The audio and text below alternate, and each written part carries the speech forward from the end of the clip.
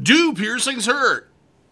We're going to go over why they hurt, uh, what you can do to change that, and what you should look for, and some mental exercise, all kinds of stuff to help you with pain.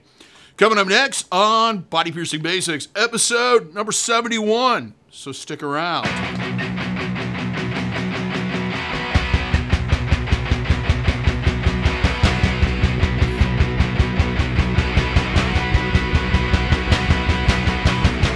For those who are new to the channel, my name is Davo. I'm a professional body piercer and have been since 1994. I own and operate the fabulous Axiom Body Piercing Studio located here in currently very sunny and kind of warm Des Moines, Iowa inside Skin Kitchen Tattoo. So when I talk to you about these things, I'm talking to a level of expertise as someone that has been in the industry for a number of years and kind of knows what he's talking about.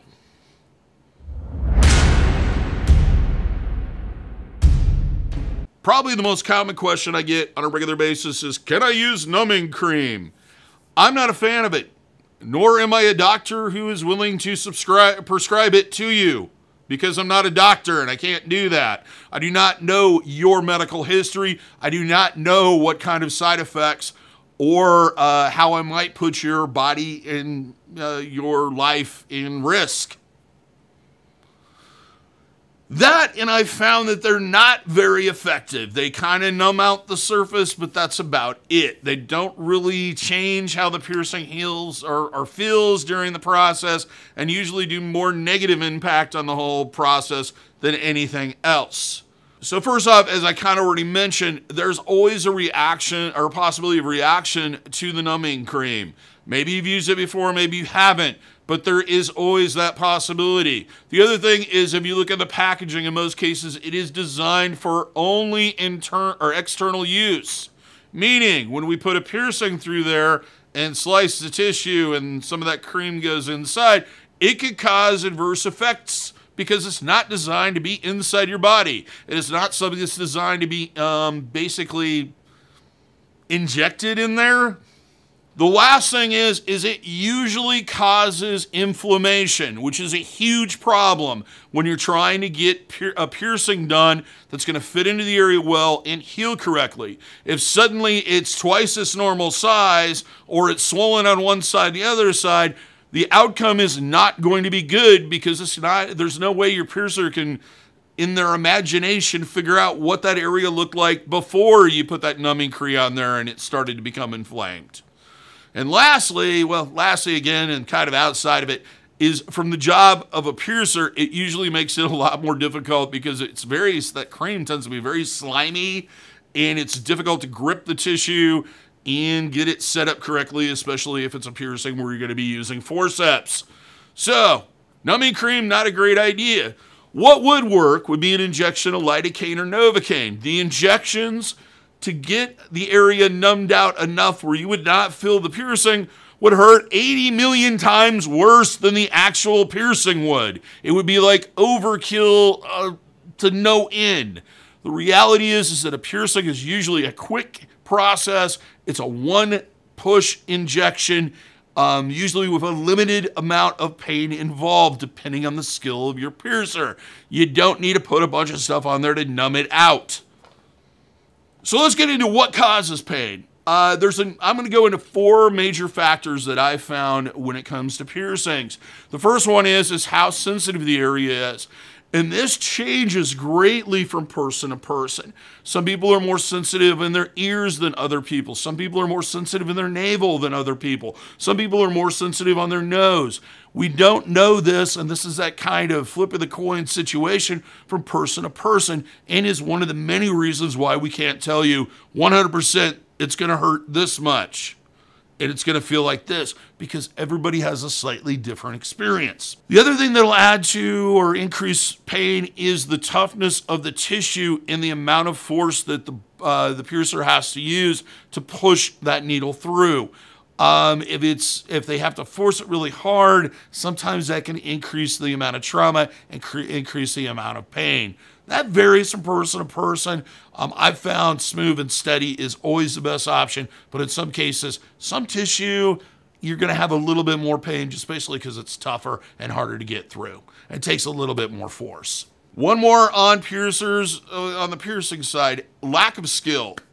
The more unskilled the person is that's doing the piercing, the more they're likely to hesitate, the more they're not the more they're likely to make mistakes, the more likely they are to just push it in a little bit and then stop and hesitate and do it slow and not clean and smooth or do a jab. Uh, a lot of this comes down to the skill of the piercer. If you have a more skilled and experienced piercer, it's probably going to hurt less than somebody that started a couple of days ago. Just to let you know. The last one is an important one. It is your state of mind during the piercing process. The more anxious you are, the more fear of the unknown, the more stressed you are about this piercing, the more it tends to amplify, amplify the pain experience, the more it makes the whole experience much worse. So, and I'm going to get into this a little bit later when I, I talk about things you can do to reduce pain. One of the biggest things is try to get into a state of mind where you're not just on the edge of, uh, walking out the door and screaming into the night. So let's get to the last part, and then I'll let you get on with your day. How can I reduce the amount of pain I experience during a heal, during a piercing? What are some of the things that you can do, and some of the things you want to look for in your piercer that are going to kind of reduce the overall trauma and discomfort and pain and etc. of getting a piercing? The first one is getting pierced by a well-skilled and well-experienced piercer. Nothing beats somebody who knows what the hell they're doing. You can't beat it. Um, of course, the guy that's been doing it for 25 or 30 years and has done a lot of piercings, millions upon millions, is going to be a lot more professional about what they're doing and they know what techniques cause pain and they're going to be able to reduce those and do them in a way and do that piercing in a way where they can cause the least amount of trauma and discomfort. Second one is get to know your piercer. Um, a lot of people will say like the first one hurt really bad, but then I went back to that person three or four times, and now I have like 15 piercings and I barely even notice it.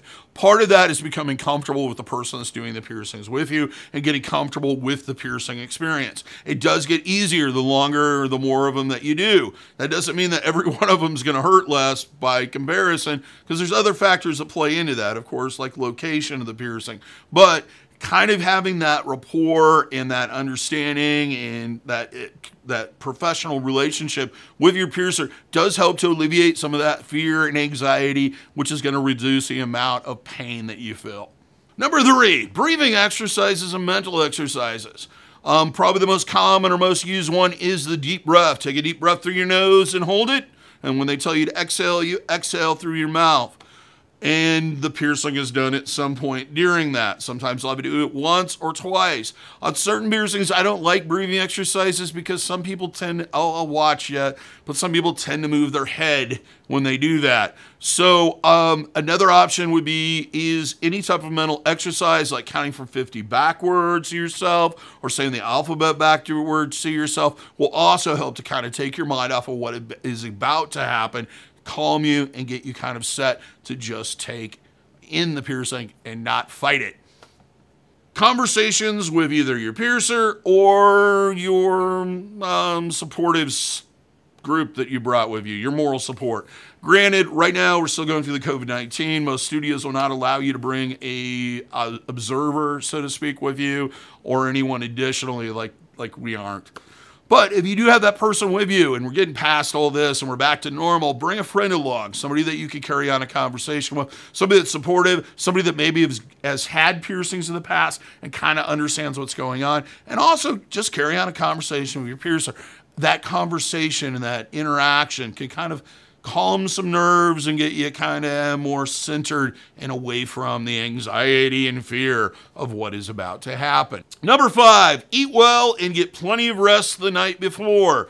Nothing affects your state of mind more than just being well relaxed, well fed, and well rested. Also, it's not a bad idea if you have some stress relieving exercises that you do, some type of meditation, yoga, what have you. Maybe your thing is, you know, power walking. Do it before you come in so that you're in that kind of more relaxed and stressless state of mind. Number six, probably the most common thing that people ask when they think something's going to hurt is Do you mind if I have a few cocktails or smoke some of uh, that stuff I like to do before I come in? Yes, I do mind. If you come in intoxicated, I am not going to do you do the piercing on you at all. The reason for this is that you are it's going to amplify your emotional experience, thus it's going to hurt more when you're when you're drunk or you're high, and it's going to make you difficult to deal with because you're intoxicated and you're going to bleed more. Also, I would suggest not drinking the night before and coming in with a hangover because it can cause some of the same issues, including not being well rested and thinning of blood and all that fun stuff. Take care of yourself beforehand, is what I'm getting at. Research your piercer in the piercing you're getting done. It can greatly reduce the amount of fear and anxiety you have about getting the piercing done. Reading other people's experiences on getting the piercing, either from that piercer or that particular piercing, maybe from a completely different piercer, can really help to kind of get you into the, uh, the, the thought process of knowing exactly what's going to happen. And I believe that the more educated you are, the less anxiety and fear there is over something you've never experienced before. Number eight, the reward is going to be a great deal more than the experience itself. It's going to greatly outweigh it. We are talking about a piercing that's going to take split second to do, maybe up to a minute to get the jewelry in, tops, depending on the jewelry but you're going to have that piercing for the rest of your life. It's going to be something that's going to be with you and it's going to be worth it. So, getting over this idea that this is just going to hurt and be terrible and everything else, you really need to focus on what the end game is, what your reward's going to be. And number nine, the last one, is you will survive this. I've been doing piercings for well over 26 years. I have never killed anybody. Everyone's survived. I've only had two cases where I've had to send somebody to emergency room after a piercing, and in both cases, they lied to me about being on medication that thinned blood. They survived too. So, this is something you're going to get through, and it's going to be fine. Hope that helps. Hope that gave you some hints and some ways to kind of overcome that fear of the unknown and all that pain and everything else, and gives you a little bit more insight into the piercing process and what you know what it entails and helps you. That's what the biggest thing is, and helps you maybe learn something that you haven't learned, didn't know before. If you like the video, give me a thumbs up. Let me know that you like it. Uh, I like it when you like it. Um, if you haven't subscribed already, hit the subscription and click on the notification bell so that you're notified every single time we post something on here. If you like t-shirts, decals, etc., check out our merch store. There's a merch shelf in the uh, below under the comments or in the comment area. Uh, also, there's plenty of designs other than what's there um, on our uh, site, which is linked in the description below.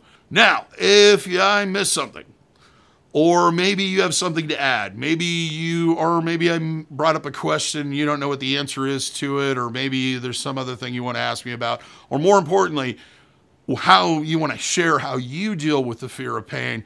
Go ahead and leave a uh, comment. I love it when people comment. I generally answer when I have time, um, and it helps to not only grow the channel, but it helps to spread that, that knowledge with everyone. So comment if you got something to add or a question to ask.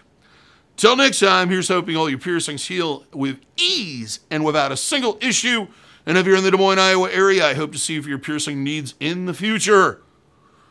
Thanks for watching, everybody. Have a good day. Go out there, do something special. Just be safe about it. We're, I think we're getting close to the end of this thing, uh, the whole COVID thing. Let's let's play it safe and get through all of it.